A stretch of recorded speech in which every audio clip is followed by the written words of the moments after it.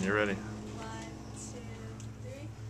Mr. R, the accounting teacher, had to balance his accounts. And so he asked his students how to make a good T-chart. And then the students told him on a proper T-chart, debits go on the left and credits go on the right. Then one foggy Monday morning, Mr. R came to say, what do you do with the final amount? Use a double underline.